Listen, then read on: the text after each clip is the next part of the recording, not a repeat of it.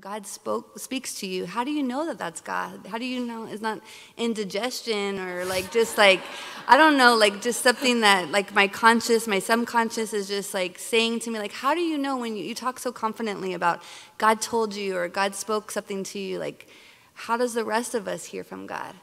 See what I had to deal with when we were having our mentoring relationship. You think it was all cute and wonderful, and Joy was taking notes and saying, "Wow." No, not so much. Mm-mm. I don't. Okay. I don't get it. I want to know. Okay. I want to understand. Okay. Um, and the first thing that I want to say is I don't. There are times, and you know, retrospect. They say 2020. You know, well, that's safe. When I can say even, and I know the one place because I always kind of think somebody's going to wonder how I heard that uh, you know, right after George died, and I'm sitting in the van, and you know, I was with my son-in-law, and he goes, "I don't know if I can, you know, follow anybody else in ministry." And I'm just thinking, "What in the world am I doing?" You know, and I did pray right then, and I did think that was what God said to me, but I wouldn't have said that at that time to you. I wouldn't have gone, "Wow, yesterday I got the word from the Lord." Right? Does that make sense to you? It was like, I think that's the direction I'm supposed to go. I've got to go somewhere. You know, sometimes you just have to make a decision. I know that doesn't sound very spiritual, but I want to bring it off of that plane. Sometimes there are these things to decide before you, and sometimes you're just left with, I have to, because to not make a decision is to make a decision. And so just make that decision. Now, later on down the road, when things have worked out well, and this looked like it was it, then I can stand up in front of you guys and I can say, The Lord spoke to me. so, just to be honest with you, at that time, if you had asked me that question, I would have said, I hope so, because I'm going to move on that one. Okay. Right? Mm. Does that cover it yeah, enough? I because that, and, and again, I don't think that's wrong. I think that's because we're, we're human mm-hmm. and we want that to be. And the other thing is, I do fear God. And so, in a good sense of the word, I don't want to put words in his mouth. Mm-hmm. And so, when I can do it from this point of view, where it's all happened and it's all been okay, then I feel fairly confident. But at the time, I, I, I really hesitate to say, I might say, I think maybe this is the leading I have. I think this is, you know. So, for me personally, I've never heard an audible voice from the Lord. I've never had a dream that gave me direction. I have impressions that this is what I'm supposed to do. Sometimes my impressions haven't been right. I think I'm supposed to do this. And recently that happened to me. I thought, wow, this frees me to do that, must be God. Something else totally different happened. Okay, so just to bring it down to that kind so of. So what do you keep? What's your what's your keep? Like, is it reading the Bible? Like, how do you what do you keep? Okay. Keep you. I mean, to be uh, prayer. Okay. Bible reading. I look for that. I'm really, really hesitant. Um, my background is in science, and, and I had all these, you know, so there's kind of a doubting thing that's going on there. Mm -hmm. And so it's really, um, I don't feel honest when I'm saying this is the way to do it or this is how it's going to look. But what I do know is, I mean, I have something, and it's from the Word, right? Mm -hmm. it, he's promised to never leave me or forsake me. You know, he said that the, these super simple ones, and one of them I gave you today was just like what's required in a, in a, in a servant mm-hmm. faithfulness. Okay. And I think, okay, that's a tiny step right there mm-hmm. because I believe in his faithfulness. And so, whatever little bit of faithful, faithfulness is in me as his follower, I'm going to keep doing that. Mm-hmm. And, you know, and of course, I have a fear of taking the wrong step or any of those things. Mm-hmm. But the other thing that really helps me is in Hebrews chapter 4, it talks about the children of Israel and how they, um, you know, they had all these things that God did for them. Their shoes didn't wear out, they had food, they had all of that. And the scripture right there, it says, their sin was unbelief. That they didn't believe, and what was the unbelief? Because we all have unbelief, right? But their particular sin was they didn't believe that what God had done in the past, kept shoes on their feet, kept food on their tables and all mm-hmm. of that, that what God had done in the past, He wouldn't keep doing it. They questioned the faithfulness of God. And so, in my own life personally, I try to watch out for that. Okay. What am I saying? I'm going into this new venture or doing this new thing. Let me see, what have you been doing, Lord? I believe that what you've been doing, you'll keep doing. Okay. You know, and help my unbelief. Is mm, that too good. rambly? Yeah, no, it's good. What would you say to some of my friends? They they wrote in like just saying like, what about those of us who've been disillusioned by God hasn't answered the prayers we've asked Him, we've read the Bible promises, or what about even like Christian leaders who've taken the liberty of speaking for God, and it doesn't happen. Like, and there's people in this room even that are like, how do we believe? How do we not feel? How do we trust? You know, how do we believe in the faithfulness of God when Christians who represent the name of God mislead us in that? You know. Why, did you have that one on there? That Sorry, question? I was just building up. I was giving you the big one. I was trying to slowly build up into Well, it. you were like- this that's is the like the hefty. rat in this the is hot the hefty water. one. This is a big one. It is big, and it should be the, the theme of the next. Okay, that's our next conference. I'll make sure you come out to that one too. oh, I think you need variety. Okay, well, we'll just see. No, that is so hard. And it's complicated. So I want to say that up front. I don't have a pat answer for that one, and I don't think pat answers work. I knew you wouldn't, so that's why I wanted you to answer that Yeah. one. I knew you wouldn't give us a pat answer. But I do believe in the faithfulness of God. And I think that whatever, and I have family members who have been so dis- disillusioned that when they, and I have been, I mean, prayed that God would show up and that he, and why wouldn't he? Everything that I look at, I think, Lord, why wouldn't you? This is not just about her. This is, uh, your reputation is at stake. Mm-hmm. They're not going to believe in you anymore. And what a small thing. Just show up in the light, like have a little light in the corner. That would be enough for her. Mm-hmm. I don't know why God doesn't do that, but He doesn't sometimes. Mm-hmm. And that's kind of the way it is. About people, and I know that's also another huge one, when you have, it's not that you've put your trust in that person more than God. It's not that. Like talk of Christian leaders and so. If you have, then you've got your answer. But if you haven't, but it's just been discouraging. And so, you know, well, we're all flesh, you know? Yeah. And we fail. Mm-hmm. And, and there's no excuse for it. But there is, in, in 1 Corinthians chapter 13, when it says, love believes all things, hopes all things, and endures all things, you know, put some of those, put some of those scriptures over some of the, the problems, and not to quote them like they're the answer to everything, but really, how do we see the, the person next to us? You know, what that leader did or what that person did, they're not right. You know, we can say there's no excuse for it, but, um, but they're not God.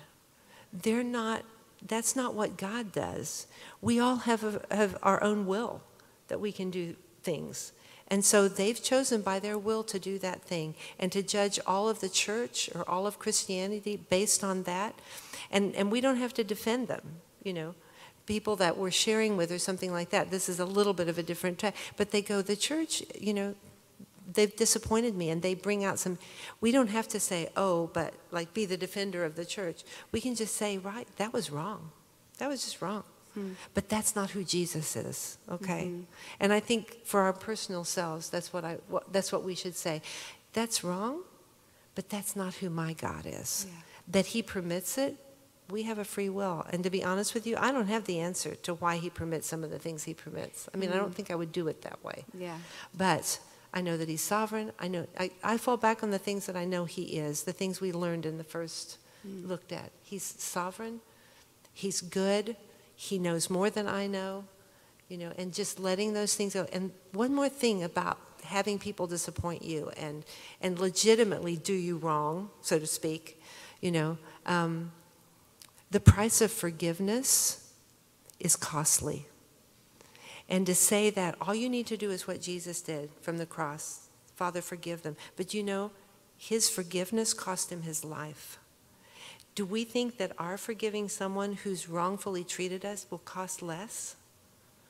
So if you feel pain mm-hmm. when you have to for, when you, because you're a believer and Jesus said that the one thing he pulled out of the Lord's prayer, you know, about forgiveness, and when you think that's just that's too hard, that's not fair. That is, it's not going to help them for me to. They don't want my forgiveness. Mm. Did tho- that mass standing outside underneath the cross? Did they want his forgiveness? You know, eh, but I think we need to be ready that that our forgiveness to them it's going to cost us. It's a price. Forgiveness. It's like just forgive them. Let them off the hook. Hurts, Yeah. right? Yes. To forgive someone, mm-hmm. especially someone who doesn't really want your forgiveness, Yeah. doesn't care. And then we should be- someone who represents Jesus. And you know? someone who represents you, and they're walking on, and they're like, please, you're hurting people. Yeah. Okay. But you're not forgiving them, doesn't have any effect on that. Hmm. But it does have an effect on you. Hmm. And so, but, but I think that expectation that is, it's not a pat answer because it hurts. Yeah. Forgiveness is costly. Think about it, what it cost him. Mm-hmm. I think like it's just such it's refreshing and I think we have to be reminded over and over again too about forgiveness. But I think in my own life like we put people on pedestals.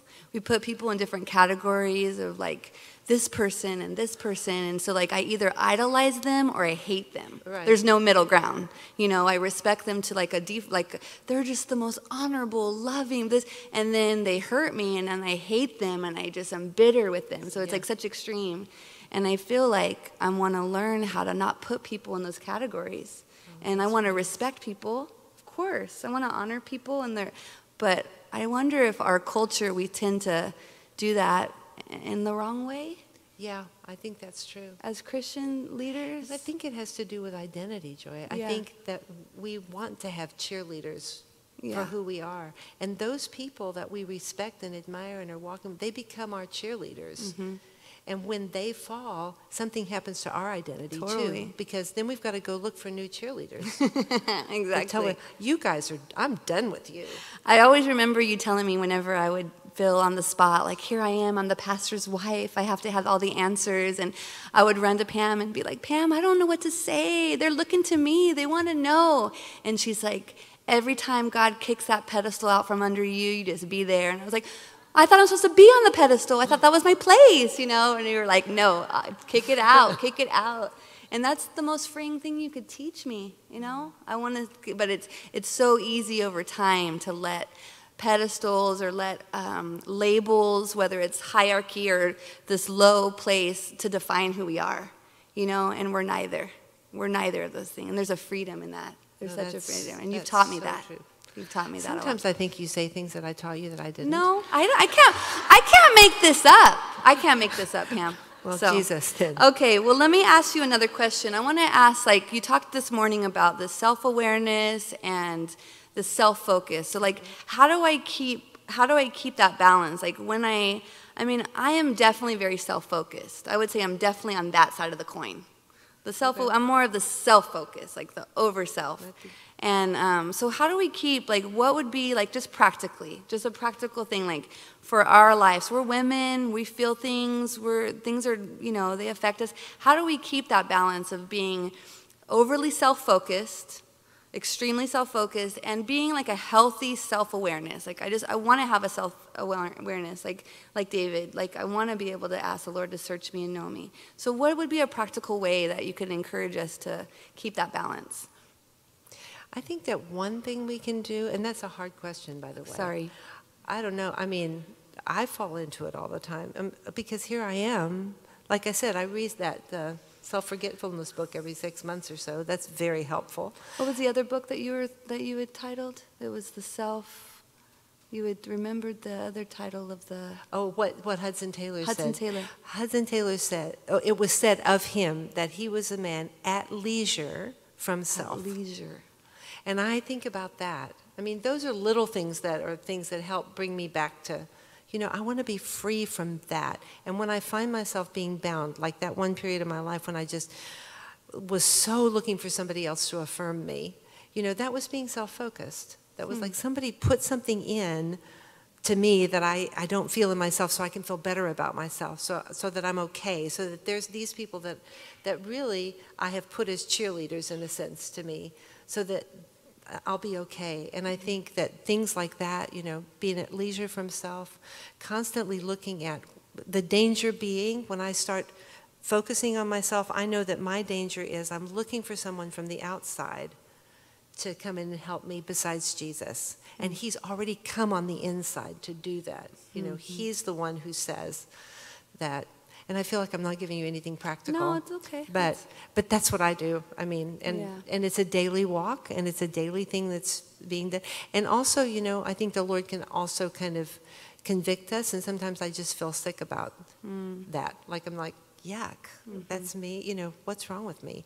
But another practical thing, and this isn't like the answer to everything, and it can also be something to build yourself up, but it's reaching out, right? It's Mm. seeing someone else. It's listening to someone not to hear how you're alike, Yeah. if you know what I mean. Yes, It's like yeah. you, you start sharing your problems with me, and I start saying, Oh, I can totally ah. relate. I could actually trump you by five. Yeah, I got Yeah. that. Totally. wow. You see who taught I'm who? tracking with you here. I'm on there. Okay. I'm tracking. I get you. And so, but instead of doing that, think, I'm going to listen. Yes. That's I'm going to hear. And it gives you that. I think it's a kind of what Jesus did. It's incarnational. It's like, I hear you, and I don't, I've never been where you are. And mm. admitting that, we've, we somehow we have to always say, I know just what you're saying. Mm-hmm. And the other person often wants to say, You have no idea what I'm saying. So. Do you care to know what I'm saying? Mm-hmm. You know, and it's being open. And that keep I, you sort of I sort of think about self focus and you know as it's that and I'm hurting it's like the splinter you know and every the more I focus on that splinter the more it hurts so I keep hitting it and to get outside of that and and see someone else and really listen it takes the pressure off of That's so good. the thing that I'm I keep rubbing or the tooth that keeps hurting that you so keep hot doing this thing to you know takes the attention off. That's so good. Yeah. That's such a good like visual. That's so good. Um, someone wrote in. It was a really really sweet question. Awesome. Um, she said, "Am I allowed to be lonely in my singleness, even though I do believe God is with me?" I hope so because I am mm, Okay. Yeah, there are those moments. And you know, the truth of the matter is, we're very complicated. You Yeah. know, we've got our emotions, complex, we've got huh? our, yeah. And I think that the Bible is the only book that actually speaks to the complexity of who we are. Hmm. You know, we've got psychologists and they deal with a certain part. We've got Christian moralists who will deal with a certain Yeah. thing. We have, and so there's all these things, but the Bible speaks to all of that. Hmm. And the bottom line really is, and, and I think Proverbs says this, is that only the heart knows its own troubles. Hmm. And, you know, you can be smiling on the outside, I always forget how it's said in the Proverbs, and hurting on the inside, and you think, yeah, that's probably a comedian or something, you know, or those people. And we know, tragically, people Mm-hmm. Yeah. that make us laugh often are the ones that, you know, yeah. are really, really hurting Mm-hmm. inside. But anyway, so all that aside, it doesn't say that about particular people, Proverbs, it's all of us. Yeah. We all do that. And so I think there is kind of a cosmic loneliness, if you will. I'm the only, per- I mean, we open up to each other and we're meant for community and we need to do that. But I'm the only person who knows myself at that level. Mm-hmm. All right? Of course, Jesus knows that. But still, to know that sometimes I feel like I'm alone in the universe as far as people are concerned. And it's not, it's not wrong. It's just the way it is. That's, mm-hmm. that's us. And mm-hmm. so, yeah, there's times when I feel lonely and, and alone. And the bottom line is, we are. Except for him at hmm. times. So what about like people that are married? What about wives? Like how do we as a wife still keep my own identity? Like you identified yourself as a a pastor's wife or a missionary wife. Like how do you how do we how are we are still our own person even if we're we're married and we have a, a husband, you know? Married, yeah. Yeah. Okay, what I, what I can see about that, because I think that's a huge challenge. You want to be the best in, in this particular, you want to be the best wife, the most supportive, the, you know, most days. Most days. And, yeah, yeah. and, and you still got yourself to deal Right. with and everything like that. I think that it comes down to, um, what's your main love? Hmm. It comes down to, eh, oftentimes in our lives, we have disordered loves. I thought my first love was supposed to be my husband. I'm a wife. Ah, there's your problem right oh, there, okay. babe. So my first love is not supposed to be my husband. No. Okay. Oh, So here's the thing. Here's the here's the test, okay? okay. What is the one thing in my life that if everything fell apart, it wouldn't change? What is the one thing and what are my what's the one thing that I hope in, the one thing that I want the most, the one thing that I think if I have that, I'll be okay. And let's try some things out, okay? So I can say, you know, maybe you're you're single and the one thing that you think, you know what, I'm lonely. And I, I want to do things and I want to have someone with me. And if I just had that person to do those things with, my life would be great. You know, this is the one thing that would make everything right. Or let's say it is, you know, um, finances. You know, so it's hard to live hand to mouth, you know? Mm-hmm. And here we are, and every daggone month we have to figure out how we're going to make it, and if mm-hmm. we're going to make it, and we've got children, we want to do, th- you know, if we just won the sweepstake. the And I'm- lottery, the lottery. I'm sorry, the Yeah. lottery, mm-hmm. or whatever. I don't, Yeah. you know, I don't want to make light of it, but it's like, Lord, if I don't want a lot, Jesus, I just want enough to live. If that were the case, my worries would be over. I, everything would be okay, Hmm. and just start putting things in that place. That if I had that, everything would be, you know, and it fits in with what we've talked about too. But and they're good things. I'm not talking about having idols in your life or anything like that. I'm talking about the genuinely good things having a husband, having children, being financially secure. Nothing wrong with that. All those things are, are good things. But mm-hmm. again, just like we talked about identity, they're not ultimate things because all of those things will change. Mm. So maybe I find that person, or maybe it's just if all my children would come to know Jesus, if they just walk with Him. That's a great desire. But if that's at the center of your life, you're going to have problems.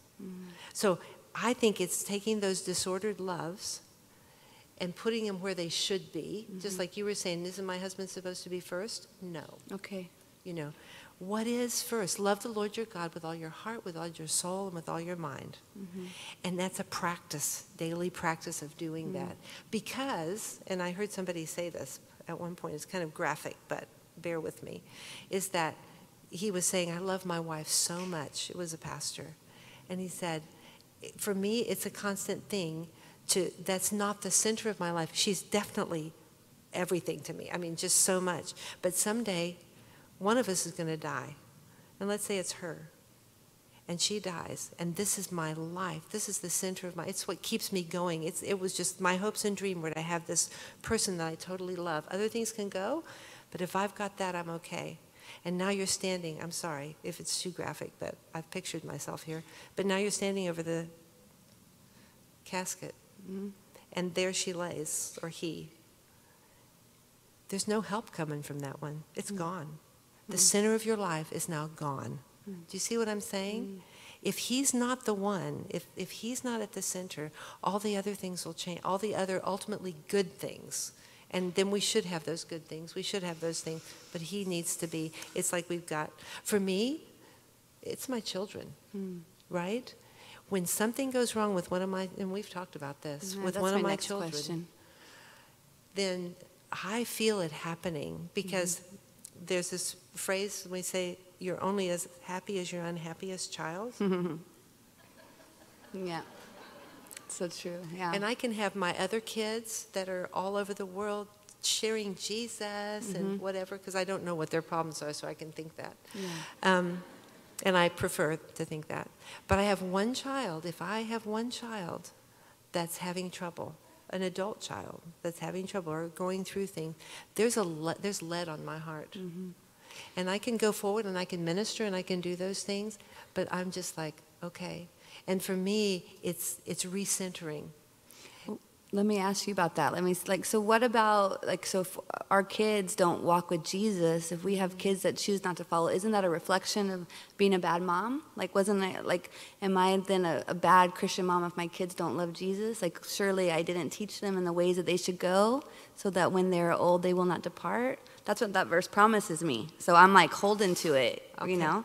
Well, let me talk about that promise first. Okay. It's not. Okay. Tell me. Tell me. The book of Proverbs is the way things should work in a, in a perfect world. Okay. It's the way that things are supposed to work. We're in a fallen creation, but this is how it should be. These are principles to follow. Okay. And so you've got that principle, but, but they're not promises. They never come off as, I promise you. The Lord says, but they say, train up a child in the way, should, when they're old, they won't depart from it. This is the way it's supposed to work. Doesn't always work that way. Okay. And, and to see Proverbs where it's supposed to be with Ecclesiastes and with Psalms is a very good learning thing to do. So sometimes we take the scripture again where you, it's a book it's it's a book of morals it's a book of rules it's a book of promises and it does have all those things in it but that's not predominantly what it is we are broken people living in a broken world and in a perfect world because read the book of proverbs and it'll contradict itself in the sense that it, you know if you do all these things you will be prosperous And then it's got the other place where it goes. No matter what you do, evil men prosper. okay, let me look at that verse. How does that work?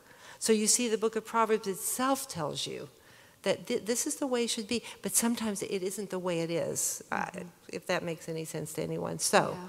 that was part of your question. Then is it on me that my children don't walk with the Lord? That's very complicated to ask that question because we're all imperfect. Mm-hmm. And did we do things that affected them, that have caused them to make decisions Yeah, that sure. Absolutely. You know, mm-hmm. were those times when I didn't do what I was supposed to do or what I should have done? I'm also broken, you know. Mm-hmm. But ultimately, they have choices. Is it fair? Li- You know, I don't want to go, it's not in the Bible, or it's maybe it's Hezekiah, life's not fair, hmm. something like that. Somewhere in there, But- yeah, probably. But that's not a, that's not the right, that's not the right statement, it's not the right question. Tell me the one that you told me that the perfect father. The perfect. Oh, okay. I do remember something. Sometimes I have to just remind her what she taught me. So then I want to let us all, you know, okay, you know, we're not perfect. But there was a perfect father, right? Who had children, right? Who were they? Adam and Eve, How did they turn out? not perfect. I'm just saying. Yeah. I love that one. I love that one. Gets me every time. I love that one. Here's the thing that recently came to me, though, is if I can't, if I can't take the blame for what they do, I also can't take The credit? the credit for what they're doing. It just feeds my pride, you Yeah. know. Hmm. But then, yeah, they're, they're, but I can take the that that phrase. You're only as happy as your unhappiest child. What that motivates me to do more is to pray for them, to intercede for them. To, so it, I let it take me to what is the center of my life. Yeah.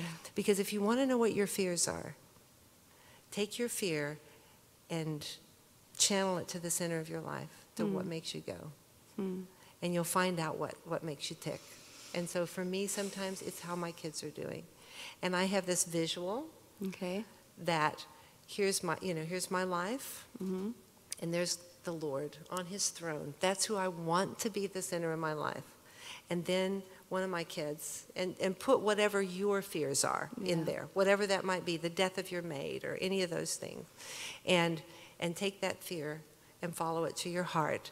And what, what I find there is my love for my children pushing the throne of God off to the side. Hmm. That's the thing that's happening, right? Mm-hmm. And that brings me back to center. And I go, wait a minute. I can, I can be concerned. I can have fears. Let it encourage me into intercessory prayer for them. Mm-hmm. So good. That's a good thought to finish on, I think. I think I could spend all day with you, Pam, asking you questions. Thanks. We're going to um, finish up, and I want to keep asking these questions. I, wanna, I don't want to be afraid to ask questions. That's how we learn, that's how we grow. So when we stop asking questions, that we build up this weird culture within Christianity that I don't think ever was intended to be there, but we just assume. I thought that's what Christian ladies look like. I thought that's what Christian families are supposed to be. I thought that's how it's supposed to be. And, and I think the more we start to ask the questions, we start to be able to see clearly, you know? And not all questions can be answered perfectly. And sometimes it doesn't matter. It's not even that I need a, a perfect answer, it just kind of helps to break the, the, the bond that goes over our thoughts and our thinking sometime, whether it's your view of God, whether it's your view of the church, whether it's your view of family, whatever it is that we have this, we can have these false views of, and it just have, it's, it's human nature. It happens to all of us. Over time, things just become molded and shaped. But that's why the Word of God is what keeps us moldable and, and keeps us pliable, that we don't get stuck. And I don't want to get stuck. As a woman, as a human, in my identity, I want to constantly be growing and learning and changing. So I pray that for each of us, that we would all have teachable hearts to learn and to receive afresh. No matter how old you are, something I've learned about Pam is she's never stopped learning. And that's a huge thing to see a woman who's raised children, lived a full life, you know, but she's still learning. And I want to be that way. I never want to stop learning, ever because that's when we continue to grow.